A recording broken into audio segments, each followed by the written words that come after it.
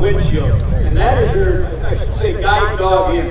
Whatever that lead plane tells you to do, that's what you do. After the drop, the lead plane breaks, goes one direction, you go the other direction, you meet them on the downwind. Let's direct your attention lower to your right or on the social screen because talk us through this drop down. Where is the jettison handle for the normal drop? Okay, he's got a button on the yoke, and he's gonna trip that thing. We're coming in now at about 125 knots.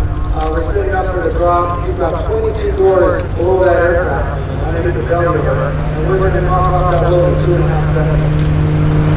That airplane